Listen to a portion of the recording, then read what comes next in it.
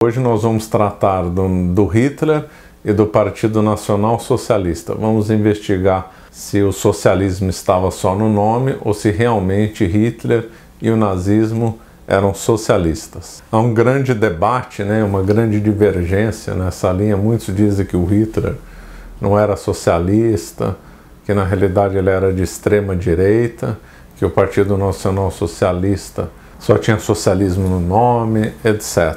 Antes de começar propriamente no tema do socialismo e Hitler e o, nazismo, é importante ressaltar que o, o nazismo teve origens esotéricas. Né? Hitler teve contato com o pensamento da ariosofia, né? com gente como Guido von List e Liebenfels, e de, que eram austríacos. Depois, um certo pensamento esotérico se desenvolveu muito forte na Alemanha, vinculado a ideias da raça perfeita, né, dos, dos arianos. E essas visões esotéricas da raça perfeita eram discutidas em círculos secretos, né, em sociedades secretas. Uma dessas sociedades secretas se chamava Tule, e o Partido Nacional Socialista nasceu da Tule. A pedido da Associação Tule, um jornalista esportivo, Karl Haher, fundara juntamente com o mecânico Anton Drexler, em outubro de 1918, um círculo político de trabalhadores de nome Partido dos Trabalhadores Alemães e funcionava como uma fachada do grupo secreto Tule, de forma que o nacional-socialismo era uma ideologia essencialmente esotérica. Nessas reuniões do partido se discutia, por exemplo, como e por que meio vamos eliminar o capitalismo. O programa do partido era anticapitalista, antiparlamentar, antissemita e decididamente contra a maneira como a guerra foi encerrada e suas consequências. E alguns pontos do partido pregavam que todas as rendas não provenientes do trabalho deviam ser confiscadas. Ponto 11. E reforma agrária e uma interdição da especulação com terrenos. Ponto 17. Então, aí nós vemos aí já de início, né? O Partido Nacional Socialista foi criado dentro do ambiente da Tule. E esse partido nasceu com uma conotação socialista, com um programa socialista. Hitler, após adquirir liderança do partido, mudou o nome para Partido Nacional Socialista dos Trabalhadores Alemães. E isso foi uma orientação do grupo esotérico Tule. Ou seja, Hitler então aderiu a essa mentalidade do, do partido, né? até mudou o nome dele para dar uma, uma, uma, faceta ainda mais socialista. Não há nenhuma prova que o Hitler tenha pertencido a Tule, porém, vários amigos do Hitler pertenceram a Tule, né? como por exemplo Rudolf Hess e Himmler, que foram grandes amigos e companheiros é, no nazismo de Hitler. Né? Agora vamos ver o que, que o Hitler realmente é, pensava. Então aqui nós vamos ver uma sequência é, de citações. Então, segundo Hitler, muito aprendi do marxismo, confesso sem meias palavras, não de sua enfadonha doutrina social e do materialismo dialético, esse tecido de absurdo, mas seus métodos me instruíram. O nacional-socialismo é o que o marxismo poderia ter sido se tivesse quebrado os laços absurdos e artificiais que o prendiam a uma ordem democrática. Então, o próprio Hitler confessa que aprendeu com o marxismo. Mais uma vez, Hitler, eu vos peço que leveis convosco a convicção que o socialismo, tal qual nós o compreendemos, visa não a felicidade dos indivíduos, mas sim a grandeza e o futuro da nação inteira. É um socialismo heróico. É o laço de uma fraternidade de armas que não enriquece ninguém e põe tudo em comum. Essa, essa frase aí é é, retrata bem a mentalidade do Hitler e do nazismo, que eles realmente eram socialistas. Né? Eu não sou apenas o vencedor do marxismo. Se se despoja essa doutrina do seu dogmatismo judeu talmúdico para guardar delas apenas o seu objetivo final, aquilo que ela contém de vistas corretas e justas, eu sou o realizador do marxismo. Essa passagem também realmente é impressionante. O Hitler não gostava de determinados aspectos do marxismo, principalmente porque ele associava a, doutrina de Marx ao judaísmo internacional. Como ele tinha aversão aos judeus, né, ele era ligado, conforme eu falei antes, na uma doutrina esotérica que defendia a pureza da raça alemã, então ele se revoltava contra isso.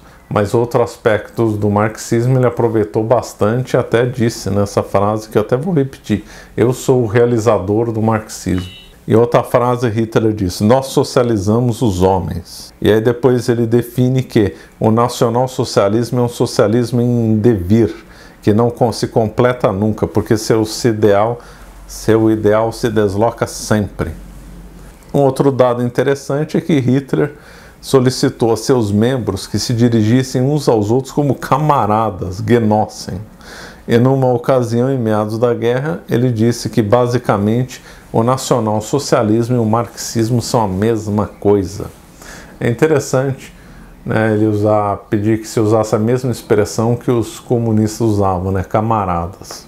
Dessa forma, o nacional-socialismo era socialista, porém com algumas características diferentes do marxismo entre elas um nítido caráter racial em vez de ser de classes, ou seja, era um racial socialismo.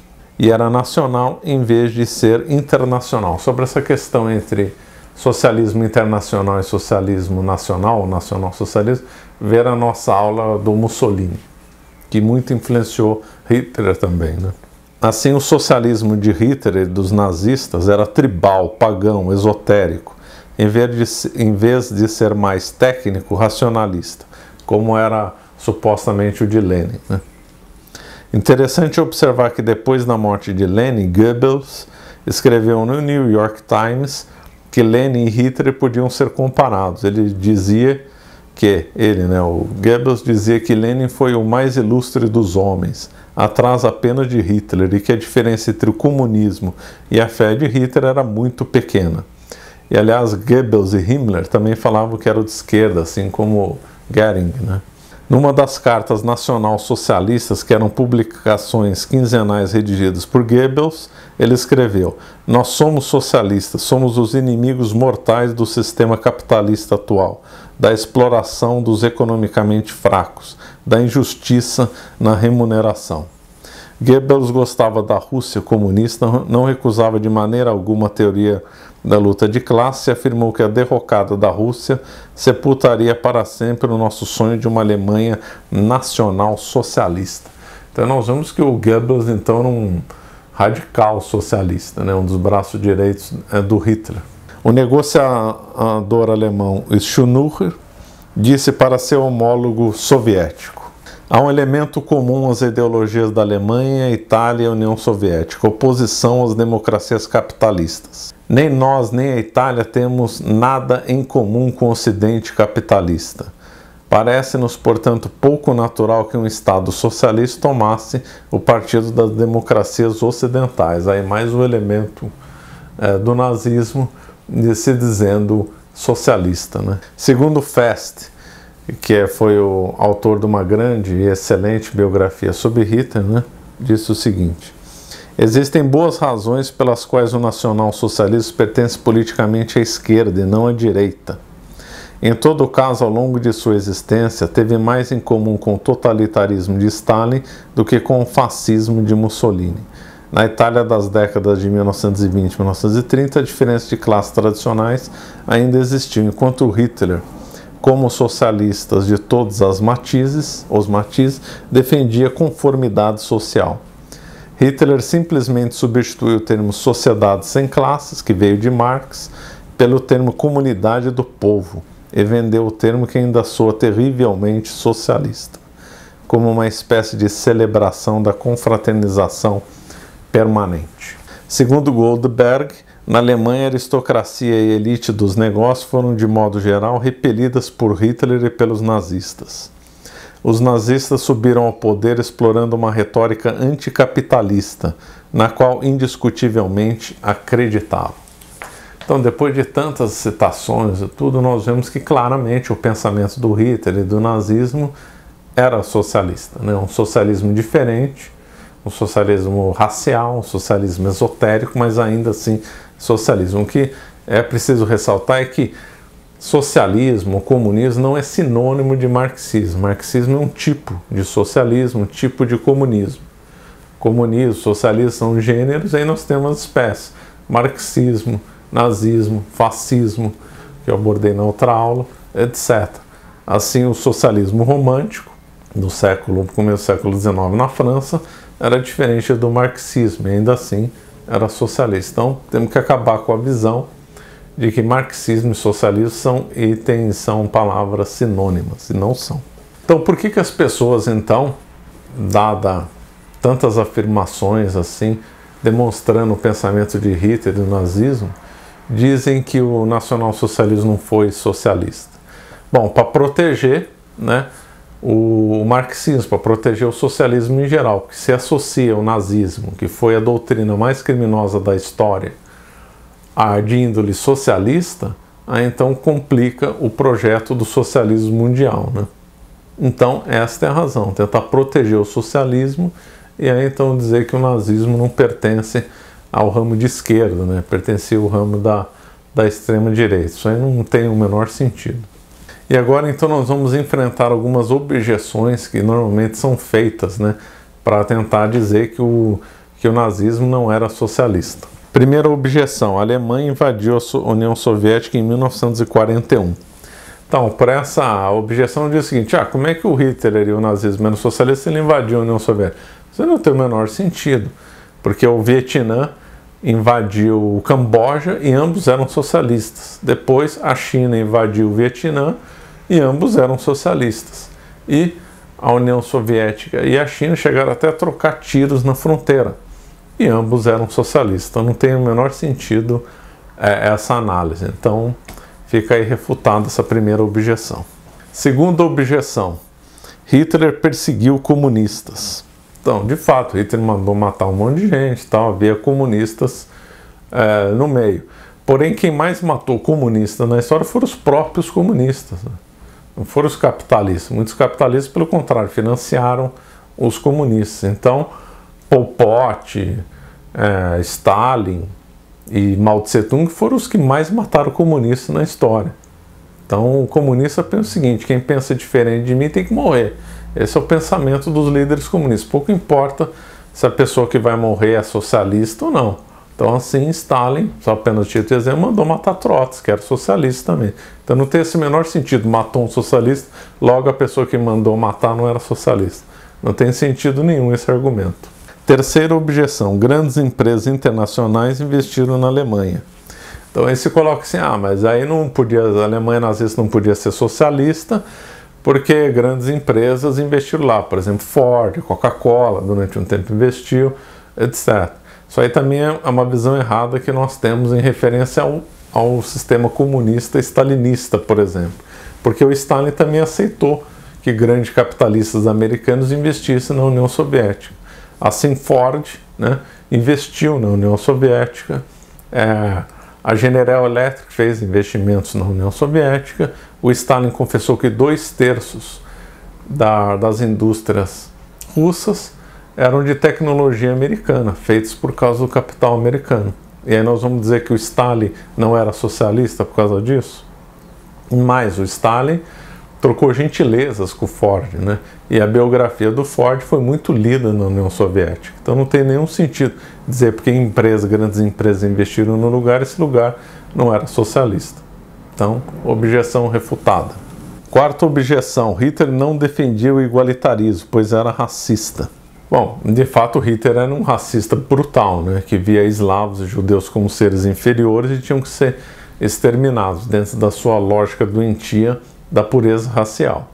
Porém, o que se esquece é que Marx e Engels também eram racistas, né, brutalmente racistas. Então Marx defendia mesmo que se determinados povos que não aderissem ao socialismo numa determinada guerra mundial teriam que ter morrer mesmo. Então, segundo Marx, as classes e as raças muito fracas para enfrentar as novas condições de vida deveriam se retirar-se. Elas devem perecer no holocausto revolucionário. Então, é próprio do, dos, dos, comunistas defender o extermínio. Sim, Stalin matou milhões de pessoas, Pol Pot matou milhões, Mao Tse Tung matou milhões. E dentro dessa lógica comunista, claro, o Hitler matou milhões, né? E é próprio dessa, dessa visão comunista serem mesmo né, racistas. Então, é, não é porque a pessoa é racista que deixa de ser socialista. Quinta objeção, que parece ser a, supostamente a mais forte, é que havia propriedade privada na Alemanha. Porém, vamos ver como que era essa propriedade privada. Né? Segundo Pipes, em um mês de controle do governo alemão, os nazistas suspenderam as garantias constitucionais da inviolabilidade da propriedade privada. Nas palavras de um teórico nazista, propriedade não era mais um assunto particular, mas um tipo de concessão do Estado. Hitler colocou a questão: quero que todos mantenham a propriedade que adquiriram para si conforme o seguinte princípio: o bem comum vem antes do interesse próprio. E mais, o Estado deve manter o controle e cada proprietário deve se considerar um agente do Estado. O terceiro Reich sempre terá o direito de controlar os donos da propriedade, já que Hitler dizia: nós socializamos os homens. Né? Essa ideia de não confiscar todas as propriedades privadas, mas controlá-las remotamente, colocá-las ao serviço do Estado, foi uma ideia originalmente de Lenin. Né? Lenin teve essa ideia. E mesmo na União Soviética, no começo, a propriedade privada não foi abolida. O Lenin fez a nova política econômica, que permitia a propriedade privada para a economia sobreviver, porque o socialismo é, destrói um país economicamente em outros sentidos também. Então, a única forma do socialismo sobreviver é permitir algum tipo de propriedade privada. Foi isso que o Lenin fez. E de acordo ainda com Pipes, os nazistas limitaram os lucros, fixaram preços, determinaram as condições de trabalho, etc. Ou seja, as propriedades na Alemanha eram tolerados apenas tendo em vista os interesses do nazismo, igualzinho qualquer outro país socialista. Né? Segundo Goldberg, o plano do partido nazista envolvia a abolição da renda dos juros, o confisco total dos lucros de guerra, a nacionalização dos trustes, a divisão dos lucros com os trabalhadores, a expansão das aposentadorias por idade, a comunalização das lojas de departamento e a execução de usurários, né? agiotas de qualquer raça e a proibição do trabalho infantil. Então nós vemos que é, não tem nada de capitalista, visão de propriedade que Hitler e os nazistas tinham. Né? Eles apenas toleravam, tendo em vista os seus objetivos. Os fabricantes da Alemanha entraram em pânico quando souberam que alguns industriais foram expropriados parcialmente pelo Estado. Esses industriais foram visitados por agentes do Estado com ordens estritas para examinar os balanços das empresas, até encontrar algum erro. Qualquer erro era punido com multas milionárias. Obviamente, essas fiscalizações eram um pretexto para fazer uma expropriação parcial das propriedades capitalistas. Uma carta de um empresário alemão para outro americano dizia: a diferença entre a política alemã e o sistema russo é muito menor do que você imagina, apesar de formalmente ainda sermos investidores independentes. Eles deviam estudar marxismo para poder entender esse sistema. Nós estamos totalmente dependentes das arbitrariedades e das decisões do governo em relação à quantidade, qualidade e preços. Além disso, os tributos aumentaram sensivelmente. Hitler acreditava no controle do mercado, assim como os marxistas. Agora, por que, que o Hitler, sendo socialista, e o, e o nazismo sendo socialista, por que, que a Alemanha não ficou mais socialista do que foi? Simplesmente porque o Hitler não venceu a guerra. O Hitler esperava ter matado os judeus, ter conquistado a União Soviética, para aí sim instalar o seu sistema socialista igualitário, tribal, racial e esotérico. Foi justamente por isso que ele não conseguiu é, implementar um socialismo. Não deu tempo, ele perdeu a guerra. Até o projeto final dele era um, um socialismo mais radical. Até o começo da guerra ele conseguiu relativizar bastante o direito de propriedade, né, conseguiu também estatizou algumas empresas, se não me engano a, Junkers foi privatizada, também se não me engano algumas unidades da Coca-Cola também foram, foram estatizadas. Então o socialismo do Hitler estava em andamento, é que não deu tempo, não deu para fazer tudo. Assim como o socialismo na Revolução Russa também não foi feito de repente, conforme eu já falei. O Lenin fez o, a nova política econômica e o Stalin tolerou é, grandes empresas que se instalassem lá. E outros regimes é, comunistas, para conseguirem sobreviver, também toleraram propriedades privadas. Né? Então nós vemos isso que é uma lenda que o socialismo, de fato, o socialismo real que foi implementado no mundo não tolerou nenhuma propriedade privada. Não, ele teve que tolerar para sobreviver. Agora toda essa propriedade estava submetida ao Estado, estava dependente dele, qualquer deslize, esses industriais, esses donos de empresas, teriam seus bens confiscados, como foi o caso eh, da Alemanha. Há de se ressaltar uma coisa interessante: em 1939, a economia alemã estava em frangalhos, estava prestes a ficar totalmente quebrada, justamente de, por causa das políticas socialistas feitas pelo Hitler. Então, o Hitler teve que ir à guerra de qualquer jeito, porque ele já não tinha mais como eh, adquirir matéria-prima do exterior, porque a economia já não estava funcionando bem, ele já não tinha mais crédito, já não tinha mais dinheiro. Ele teve que buscar na marra as matérias-primas que precisava já em 1939. Então, uma das razões da guerra ter começado é, em 39, não depois, foi porque a, a economia alemã estava indo para o buraco devido ao socialismo. Dessa forma, acho que ficou bem claro como Hitler e como os nazistas eram socialistas. Né? Eu acho é, essas visões que dizem que ele era de direita não tem o menor sentido. Né? Todas as características que nós aprendemos do socialismo são encontradas no programa do Partido Nacional Socialista. Né? Pois bem, se você gostou do nosso canal, dessa aula, por favor, se inscreva nele e nos siga no Instagram. Muito obrigado.